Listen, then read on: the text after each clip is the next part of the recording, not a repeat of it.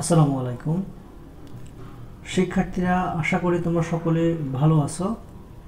আজকের ক্লাসে তোমাদেরকে স্বাগত জানাচ্ছি আমি মনোহর হোসেন চৌধুরী, সহকারী শিক্ষক, হিসাব বিজ্ঞান, মহানগর আইডিয়াল স্কুল অ্যান্ড কলেজ।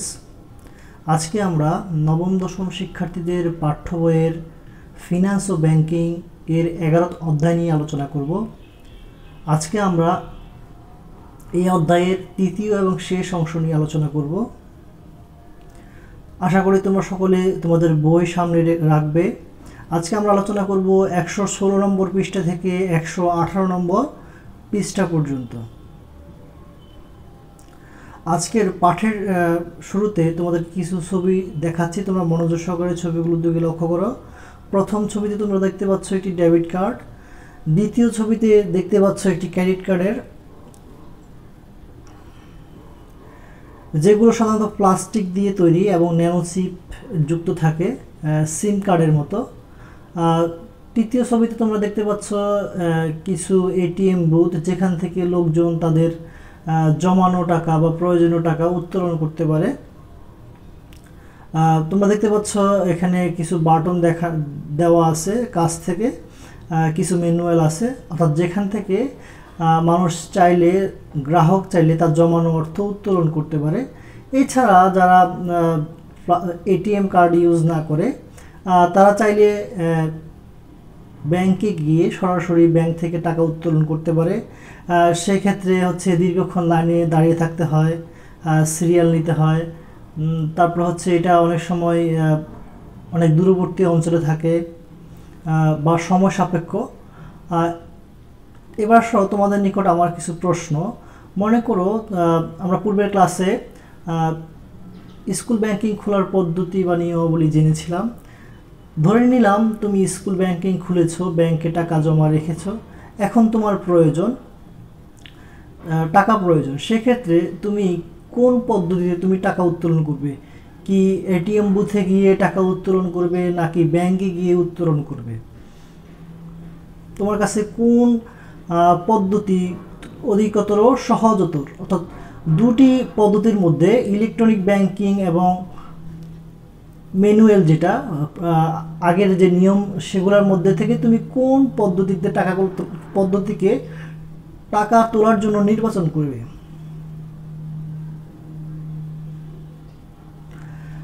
তোমরা যারা ধারণা করতে পেরেছ, তাদেরকে ধন্যবাদ। যারা নির্বাচন করেছ যে এটিএম বুথ থেকে টাকা উত্তোলন করবে তাদেরকে অসংখ্য ধন্যবাদ যে এটি অনেক সহজ। এখন আসো, কেন সহজ? আজকে আমরা সেটা নিয়ে আলোচনা করব। আজকে আমাদের পাঠের বিষয়বস্তু হচ্ছে ইলেকট্রনিক ব্যাংকিং বা কীভাবে ব্যাংকে না গিয়ে তথ্য প্রযুক্তিকে ব্যবহার করে সহজে ব্যাংকিং সেবা নেওয়া যায়। আমরা আজকে ব্যাংকিং সেবা নেওয়ার জন্য ইলেকট্রনিক ব্যাংকিং নিয়ে আলোচনা করব। আজকের পাঠ থেকে তোমরা যা শিখবে তা হচ্ছে ইলেকট্রনিক ব্যাংকিং কি তা বলতে পারবে।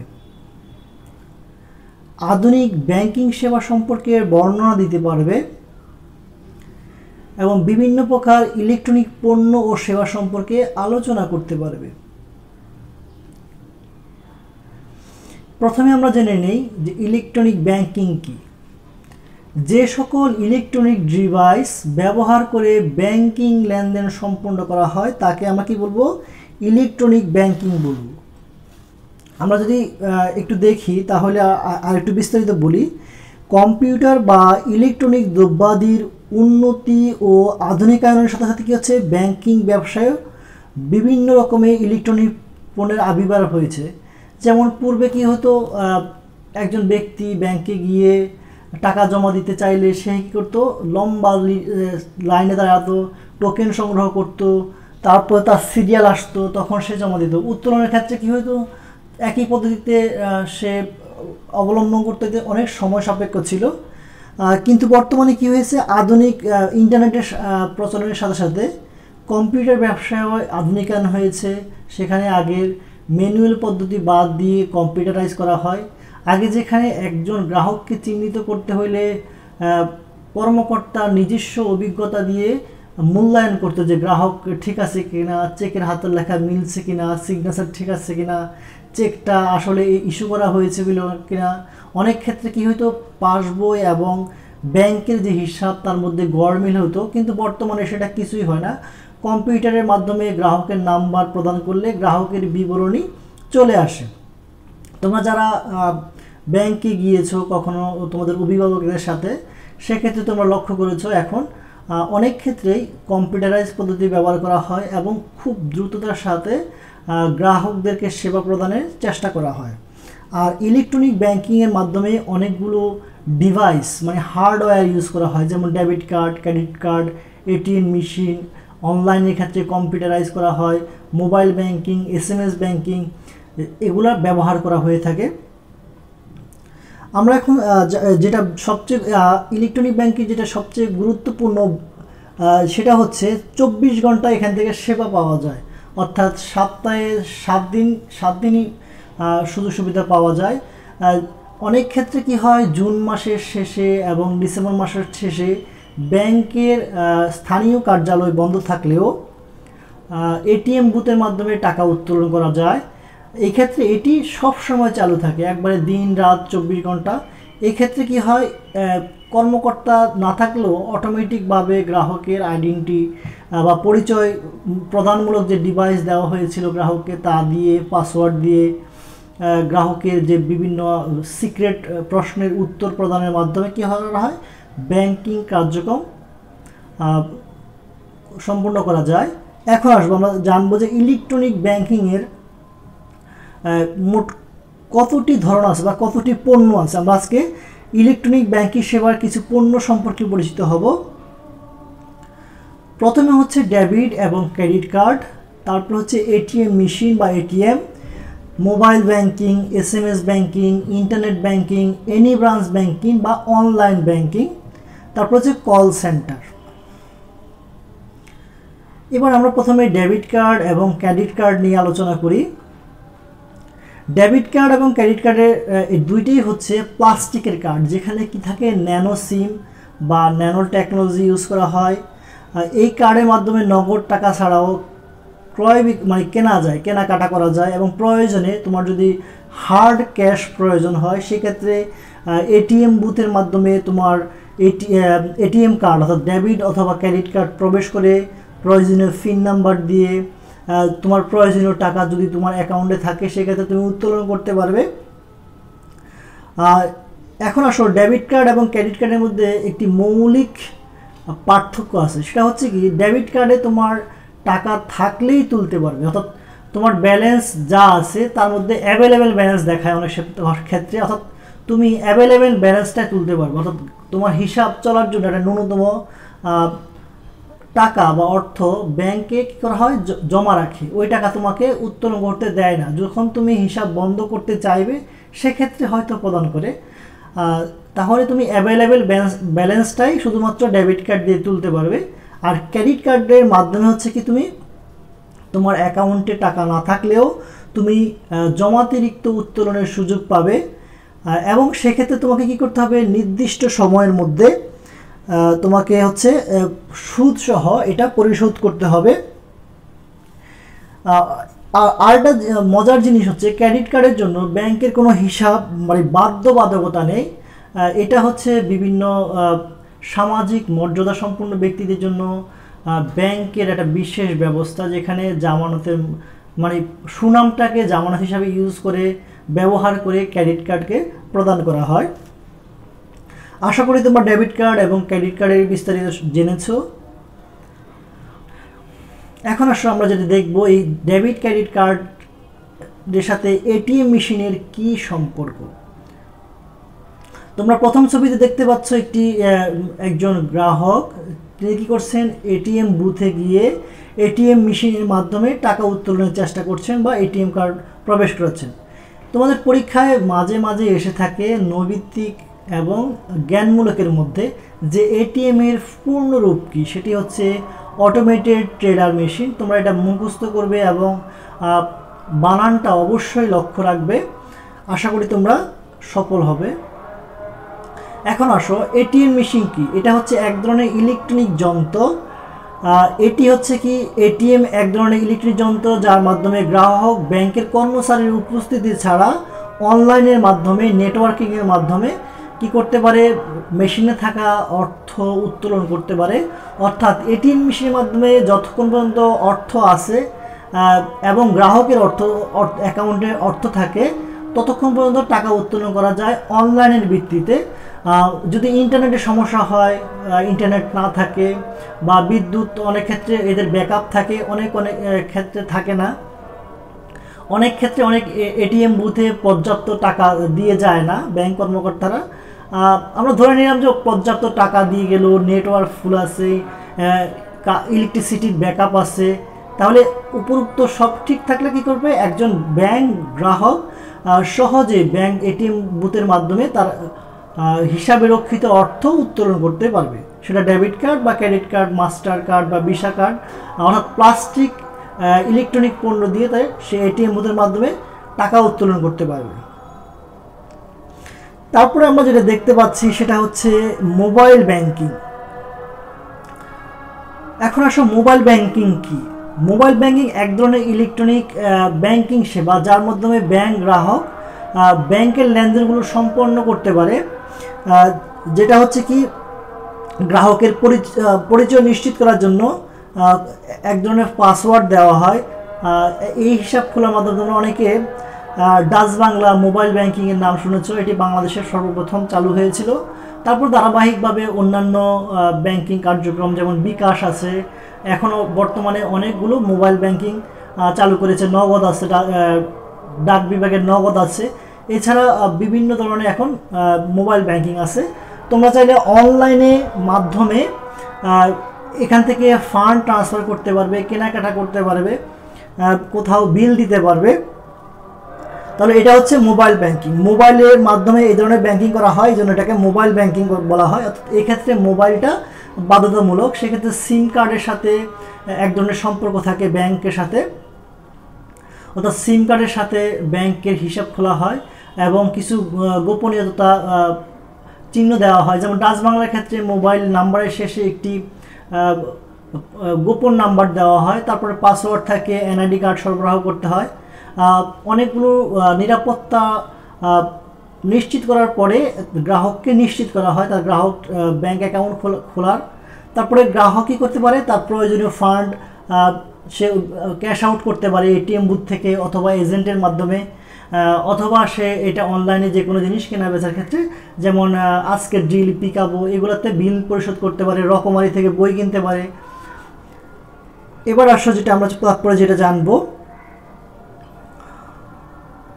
এস এম এস ব্যাঙ্কিং এক্ষেত্রে ইন্টারনেট না থাকলেও এস এম এসের মাধ্যমে বা হচ্ছে মোবাইলের কিছু নির্দিষ্ট গোপন নাম্বার গোপন নাম্বারে কল করার মাধ্যমে এস এম এসের মাধ্যমে নিশ্চিত হওয়া যায়। এবং গ্রাহক তার ব্যাংকিং কার্যক্রম সম্পূর্ণ করতে পারে। মোবাইল ব্যাংকিংয়ে কী হচ্ছে? এস এম এসের মাধ্যমে ব্যাংকিং পণ্য সেবা দেওয়া হয়। এই জন্য এটাকে এস এম এস ব্যাংকিং বলা হয়। যেমন তুমি যদি ব্যাংকে চেকের জন্য অনুরোধ করো যে তোমার চেক শেষ হয়ে গেছে, সেক্ষেত্রে তুমি এস এম এসের মাধ্যমে জানাতে পারবে বা তোমার ফান্ড সম্পর্কে বা তোমার হিসাবে কীরকম এখন ব্যালেন্স আছে বা মাসিক কী ধরনের তোমার লেনদেন হয়েছে। তার তুমি জানার জন্য কি করতে পারো? অনুরোধ করতে পারো, এই জন্য এস দিতে পারো, এই জন্য এটাকে এস এম এস ব্যাঙ্কিং বলা হয়। অনেক ক্ষেত্রে ব্যাংকে টাকা জমা দিলে বা উত্তোলন করলে এস এম এস চলে আসে।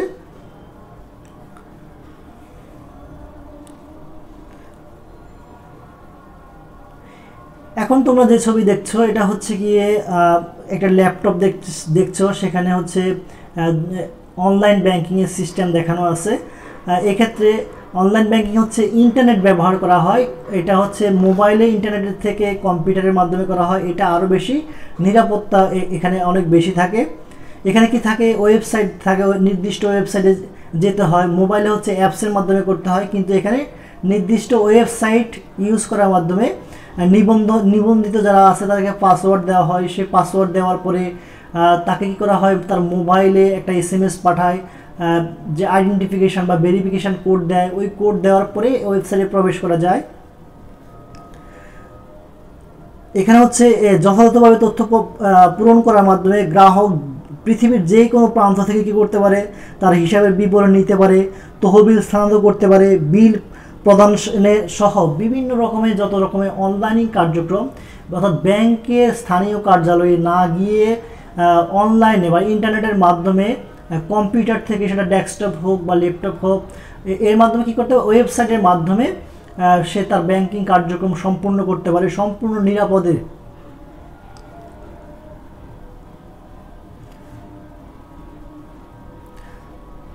এরপরে যেটা, সেটা হচ্ছে এনি ব্রাঞ্চ ব্যাংকিং অর্থাৎ এর মাধ্যমে কি করে? গ্রাহক এক জায়গায় অথবা একটি শাখা খুলে যে কোনো একটা ব্যাংকের একটা শাখা থেকে হিসাব খুলে, দেশের অন্য যে কোনো শাখা থেকে কী করতে পারে? লেনদেন করতে পারে। এটা ডাচ বাংলা সহ অন্যান্য ব্যাংকে সুযোগ সুবিধা দিয়ে থাকে বেশি। তোমরা আরও বিস্তারিত জানতে পারবে। বিভিন্ন ব্যাংক দিয়ে থাকে এবি ব্যাংক দিয়ে থাকে, ইসলামী ব্যাংক দিয়ে থাকে। যেমন তুমি যদি মুগদা শাখায় ডাচ বাংলা যে মান্ডা শাখা আছে সেখানে অ্যাকাউন্ট করো।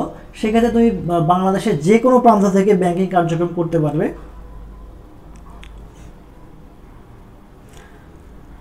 তাহলে এনি এনি ব্রাঞ্চ ব্যাংকিং হচ্ছে, এর মাধ্যমে গ্রাহক এক জায়গায় অথবা একটি শাখা হিসাব খুলে অন্য যে কোনো শাখা থেকে লেনদেন করতে পারবে। আশা করি তোমরা ইলেকট্রনিক ব্যাংকিংয়ের যে বিভিন্ন পণ্য আছে তার সম্পর্কে বিস্তারিত জেনেছ। এখন তোমাদের হচ্ছে তোমাদের নিকট আমার প্রশ্ন, তোমার এলাকায় ইলেকট্রনিক ব্যাংকিংয়ের কোন কোন সেবা বেশি ব্যবহৃত হচ্ছে বলে তুমি মনে করো? তার একটা তালিকা প্রস্তুত করো। তোমরা এখানে ভিডিওটিকে পজ করবে স্টপ করে কাজটা সমাপ্ত করবে, তারপরে পরবর্তী থেকে দেখবে, অথবা চাইলে ভিডিও শেষ করেও কাজটা করতে পারো। তাহলে তোমাদের নিকট আমার প্রশ্ন হচ্ছে, তোমার এলাকায় ইলেকট্রনিক ব্যাংকিংয়ের কোন কোন সেবা বেশি ব্যবহৃত হচ্ছে, তার একটি তালিকা তৈরি করো। এখন আমরা জানব যেটা ইলেকট্রনিক ব্যাংকের গুরুত্ব। এটা কেন আমরা ব্যবহার করব? এর প্রয়োজনীয়তা কি কি আছে? এটা কি কি সেবা প্রদান করে? প্রথমত আমরা যেটা জানব সেটা হচ্ছে ব্যাংকারদের প্রতি, অর্থাৎ ব্যাংক কর্মকর্তাদের পক্ষ থেকে কি কি এটা সেবা দেয়। অর্থাৎ ইলেকট্রনিক ব্যাংকিংয়ের মাধ্যমে ব্যাংকের যে কর্মকর্তা, কর্মচারী আছে, তারা কি কি সুবিধা পায়? প্রথমত হচ্ছে ব্যয় হ্রাস। অর্থাৎ ইলেকট্রনিক ব্যাংকিংয়ের মাধ্যমে ব্যাংকের যে ব্যয় আছে, সেটা হ্রাস পায়। তারপর হচ্ছে এটার মাধ্যমে হচ্ছে মুনাফা বৃদ্ধি পায়, গ্রাহক অতি দ্রুত সুবিধা সুবিধা পায় বলে যে ব্যাংকে ইলেকট্রনিক পণ্যর বেশি সুবিধা দেয়, সেই গ্রাহক সেই ব্যাংকের গ্রাহকের পরিমাণ বেশি, অর্থাৎ বেশি ব্যাংকিং সেবা দেওয়ার মাধ্যমে বেশি চার্জ বা মুনাফা অর্জিত হয়। তারপর হচ্ছে কাগজি মুদ্রার নির্ভরতা হ্রাস পায়। এই ক্ষেত্রে কি হয়? ইলেকট্রনিক ব্যাংকিং সেবা debit card credit card online S M S ব্যাংকিংয়ের মাধ্যমে কি হয়? কাগজি মুদ্রার উপরে যে একটা চাপ আছে চাহিদা আছে, সেই চাহিদাটুকু হ্রাস হয়। দেশে যে কাগজের মুদ্রার প্রচলন, কাগজের মুদ্রা অনেক ক্ষেত্রে নষ্ট হয়ে যায়, ভিজে যায়, পুড়ে যায় চিন্তায়ের ভয় থাকে। এটাকে নিরাপত্তা প্রদান করা অনেক ক্ষেত্রে ব্যয়বহুল হয়। গুরুত্বপূর্ণ জিনিস যেহেতু নষ্ট হয়ে যেতে পারে, সেক্ষেত্রে এটা আর হয় না। কাগজে মুদ্রার পরিবর্তে বিকল্প হিসেবে ব্যবহার করা হয়। ডেবিট কার্ড বা ক্রেডিট কার্ড নষ্ট হয়ে গেলে পুনরায় নির্দিষ্ট চার্জ দিলে আবার নেওয়া যায়। তাহলে এই ক্ষেত্রে অনেক সুবিধা। তারপর হচ্ছে উন্নত সেবা প্রদান। অর্থাৎ তুমি চাইলে দেশের যে কোনো প্রান্ত থেকে তোমাকে নির্দিষ্ট কার্যালয়ে না না এসেও তুমি তোমার কাঙ্ক্ষিত সেবা পাচ্ছ। সেক্ষেত্রে তোমাকে এটা উন্নত সেবা দিচ্ছে। তুমি আর ব্যাংক আর যে ব্যাংকের পক্ষ থেকে যে সুবিধা, সেটা হচ্ছে গ্রাহককে চব্বিশ ঘণ্টা তারা সেবা দিতে পারছে। এক্ষেত্রে গ্রাহক এবং ব্যাংকের মধ্যে সম্পর্ক উন্নত হয় ব্যাংকের সুনাম বৃদ্ধি পায় যে এই ব্যাংক চব্বিশ ঘন্টায় সেবা দিয়ে থাকে। এখন আসো ইলেকট্রনিক ব্যাংকের গুরুত্ব সেটা যেটা গ্রাহকের পক্ষ থেকে, যারা ব্যাংকে হিসাব খুলবে, তাদের কি লাভ হবে? প্রথমত যে লাভটা হবে, সেটা হচ্ছে সময় সাশ্রয় হবে। তোমাকে কষ্ট করে আর স্থানীয় কার্যালয়ে যেতে হবে না। তারপর দ্রুত অর্থ স্থানান্তর করতে পারবা। তুমি যদি বিকাশে বা ডাচ বাংলায় এক তোমার প্রয়োজনীয় কারও কাছে টাকা পাঠাতে চাও এস এম এস এর মাধ্যমে পাঠিয়ে দিতে পারবে। অর্থাৎ দ্রুততার সাথে তুমি টাকাটা পাঠিয়ে দেওয়া লাগবে কোনো প্রকার। তোমাকে কোনো বাড়তি কোনো ঝামেলা করতে হবে না। এবং যে ব্যক্তি আছে তোমার এই টাকা, তুমি যদি কারোর কাছ থেকে গ্রহণ করতে চাও মোবাইল ব্যাংকিংয়ের মাধ্যমে, তাহলে তুমি দ্রুত টাকা পেয়ে যাবা এবং তথ্য পাবা যে তোমার টাকা এসেছে কিনা, তুমি নিশ্চয়তা পাবা ব্যালেন্স চেক করতে পারবা। নিরাপদ লেনদেন, অর্থাৎ এক্ষেত্রে তোমাকে চিন্তায় বা অর্থে নিরাপত্তা প্রদানের জন্য কোনো বাড়তি ঝামেলা করতে হবে না, মানসিক টেনশন করতে হবে না। যে গোপন পাসওয়ার্ড দেওয়া হয় বা নিরাপত্তাজনিত তোমাকে যে প্রশ্নগুলো তুমি দিয়েছিলে, সেগুলো তুমি ছাড়া আর অন্য কেউ জানার সুযোগ থাকে না। বর্তমানে অনেক ক্ষেত্রে কি হয়, সুইফট কোড প্রদান করে উন্নত যে ব্যাংকগুলো আছে, সেখানে চোখের আইরিশ টেস্ট করার মাধ্যমে ব্যাংকে অ্যাক্সেস প্রদান করে। আমরা এছাড়াও শুনেছিলাম যে অনেক ক্ষেত্রে কি হয় গ্রাহক অনেক ক্ষেত্রে অনেক যেগুলো হাই প্রোফাইল ব্যাংক গ্রাহক আছে সেই ক্ষেত্রে চোখের আইরিশ ছাড়াও হৃৎপিণ্ডের যে স্পন্দন এখানে বিশেষ ইলেকট্রনিক যন্ত্রের মাধ্যমে পরীক্ষা করা হয় যে তিনি কি স্বেচ্ছায় টাকা উত্তোলন করছেন নাকি কোনো মানসিক চাপের মাধ্যমে তিনি টাকা উত্তোলন করছেন সেটাও বিবেচনা করা হয়। উন্নত বিশ্বে বিশেষ বিশেষ ক্ষেত্রে গ্রাহকদের এই ধরনের ব্যবস্থা বা নিরাপত্তা দিয়ে থাকে। অর্থাৎ এটা হচ্ছে নিরাপদ। বিভিন্নমুখী সেবা পাওয়া যায়। একটা ইলেকট্রনিক ব্যাংকিংয়ের মাধ্যমে বা একটা ইলেকট্রনিক পণ্যের মাধ্যমে ব্যাংকিং ইলেকট্রনিক পণ্যের মাধ্যমে একাধিক সুবিধা পাওয়া যায়।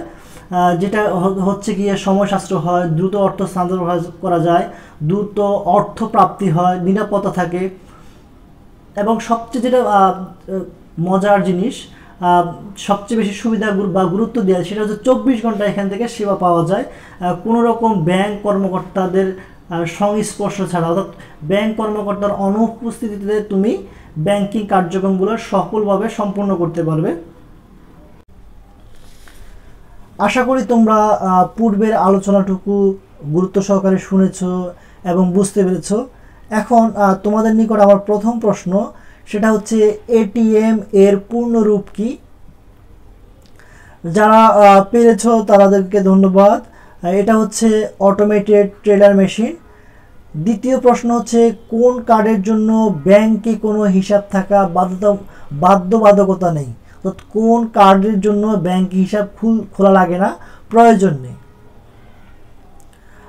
তোমার উত্তরটি মিলিয়ে নাও, সেটা হচ্ছে ক্রেডিট কার্ড। ক্রেডিট কার্ডের ক্ষেত্রে হিসাব খোলা বাধ্যতামূলক নেই, নয়।